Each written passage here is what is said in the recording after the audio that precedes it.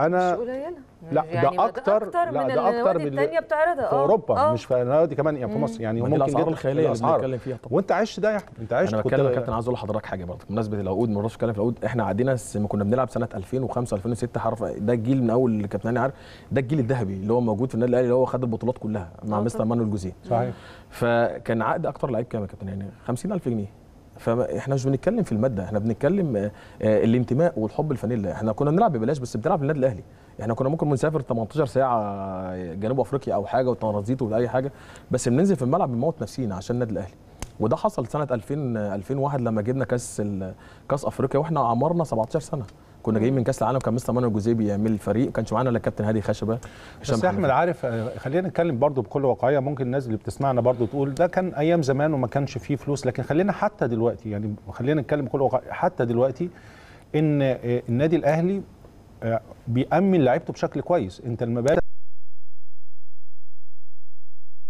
بحجم أنا بتكلم كل ما أنا بحجم وقيمة الدوري المصري لا دي أرقام كبيرة وأرقام محترمة جدا. إن النادي الأهلي يعرض الأرقام دي على اللعيبة بتاعته عشان يجددوا عشان يجدد معاهم العقود. أنا في اعتقادي النادي الأهلي بيقدم حاجة كبيرة جدا جدا. أكيد بتليق باسم النادي الأهلي لكن كمان ومش موجودة في أي نادي.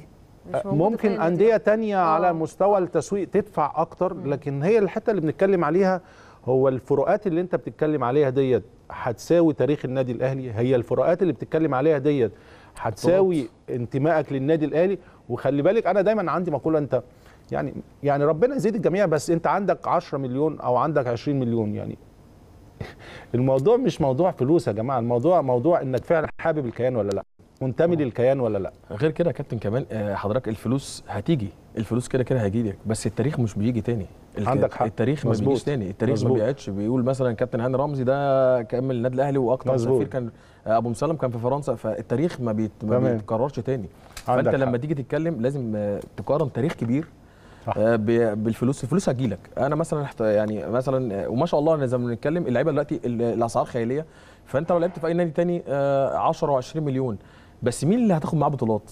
مين اللي ليه أرضية جماهيرية؟ مين نمرة واحد؟ فأنت لازم لما تيجي. تتكلم وفي نقطة كابتن برضك أنا بتكلم فيها آه، الثقافة ودماغ اللعيب تبقى عايزة إيه؟ في لعيبة ممكن تطلع تتكلم تمسح تاريخها كله وفي لعيب عنده الثقافة يقدر يتعامل مع الإعلام إزاي ودي حاجة هحط تحتها 100 خط. أنا مثلا كنت في أوروبا كانوا بيعلموني أطلع أتكلم في المؤتمر الصحفي إزاي وحضرتك عارف. ده حقيقي. فده اللي بنتكلم فيه اللي هي ثقافة اللعيب نفسه والتربية بتاعته دماغه إزاي. ممكن آخد قرار آه، أندم حياتي كلها.